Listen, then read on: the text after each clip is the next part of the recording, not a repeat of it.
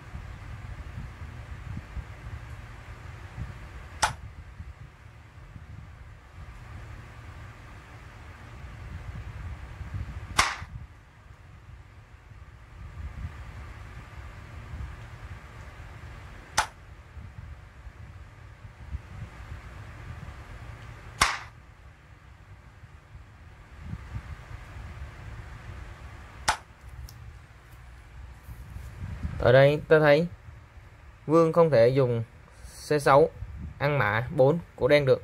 Vì khi ăn thì đen có nước thói pháo về. Bắt xe, khi xe chạy thì ăn pháo đoạt lại quân. Vì vậy, vương bình xe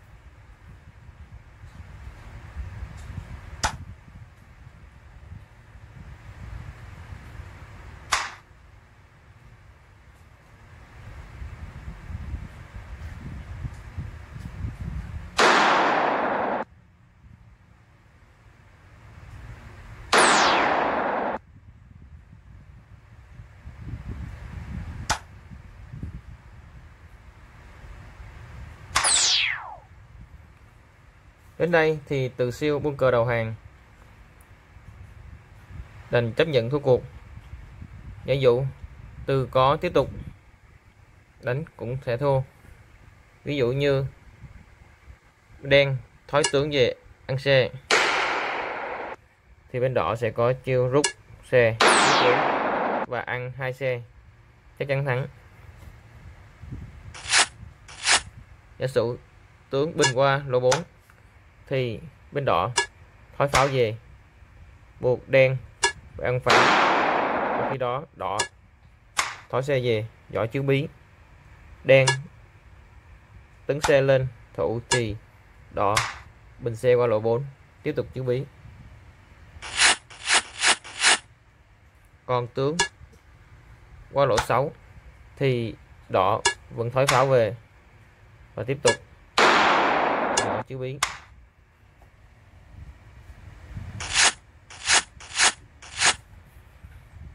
Cảm ơn các bạn đã theo dõi video. Rất mong các bạn sẽ đóng góp ý kiến bên dưới phần bình luận.